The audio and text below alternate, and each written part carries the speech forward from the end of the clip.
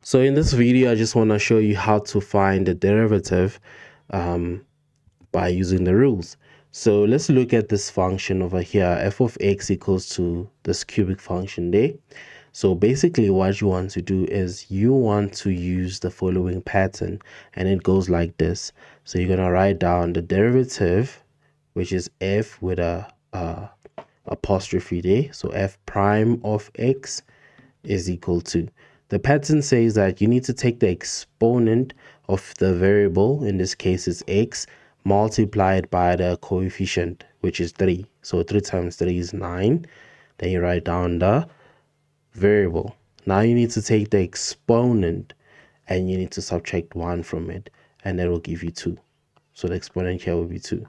Then we go to the next term and we do that as well, and we get 10 x to the power of 1 when you subtract 1 there.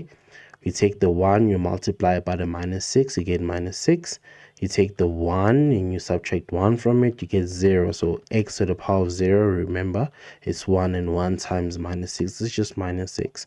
So the derivative here, when we derive that, we get minus 6.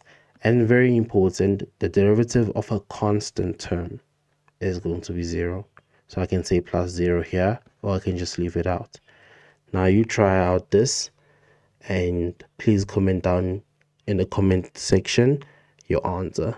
See you in the next one.